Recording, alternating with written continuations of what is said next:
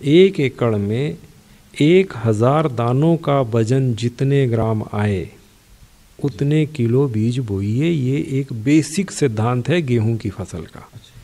एक हज़ार दानों का वज़न अगर 40 ग्राम है तो 40 किलो बोइए। बयालीस ग्राम है तो बयालीस किलो बोइए। अड़तीस ग्राम है तो अड़तीस किलो बोइए। पचास ग्राम है तो पचास किलो बोइए।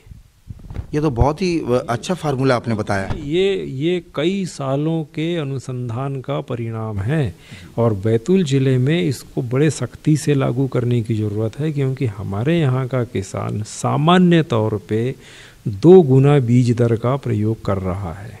अब दो गुना बीज दर करने से आपकी उत्पादन लागत 10 परसेंट बढ़ती है और उत्पादकता 20 परसेंट घटती है। ये एक बिंदु किसान अगर सुन ले, हमारी बात मान ले तो उसकी लागत में हज़ार रुपये एकड़ की कटौती हो जाएगी और उत्पादन में दो बोरे, तीन बोरे की बढ़ोतरी हो जाएगी। ये बिल्कुल करने की ज़रूरत है। अगर आप ये नहीं करते हैं तो आपका जो गेहूँ की फ़सल है, वो गिरती है। जैसी बाली निकलेगी, वो गिरेगी लॉजिंग करेगी। 25 परसेंट फ़सल गिर जाती है और गिर जाएगी, उत्पादकता में भारी कमी आती है, गुणवत्ता खराब होती है।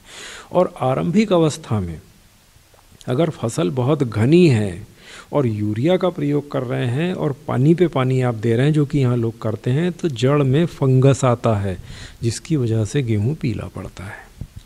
तो घना बिल्कुल नहीं बोएँ, बिल्कुल नहीं बोएँ। अगर आप गेहूँ को फ़ायदेमंद चाहते हैं तो एक एकड़ में 40 बयालीस किलो 45 किलो, इससे ज़्यादा की बीज दर नहीं रखना है।